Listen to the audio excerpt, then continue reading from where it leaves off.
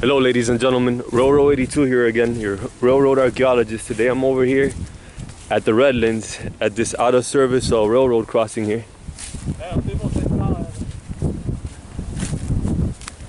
Uh, I just noticed we have a, a, a gentleman sitting on the tracks, but I'm guessing he knows they're out of service. So.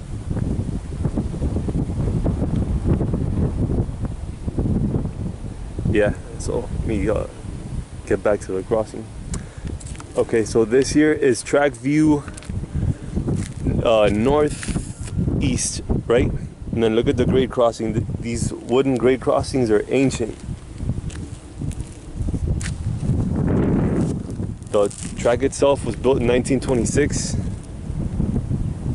And then here all we got is this uh, dangling yield sign, cross bucks, emergency contact info. CSX Transportation, crossing number 6311398, milepost.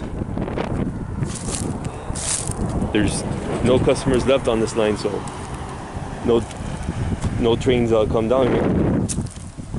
And this is the east, the, sorry, the western side of the crossing, and then over here is the eastern side of the crossing.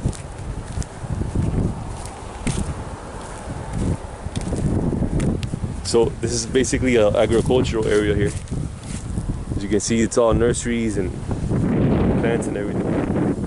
I'm gonna include a Google Maps link to this location so you guys can see. Uh, I'm guessing this happened. You see that gap there? There's a gap right there. That probably happened when Hurricane Irma came. So despite it having these holes here for the wind resistance, Hurricane Irma was able to tilt it. You got the emergency contact info, the sign, and the cross bucks. And I bet you guys know what that is. You've seen a lot of my videos. Please comment below and I'll tell you if you're right or not. So yeah. Uh, here this date.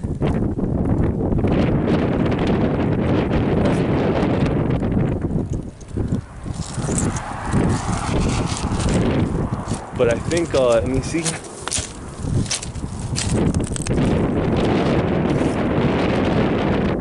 No, no. Yeah, yeah, yeah. 1925. Right there. 1925. 7500.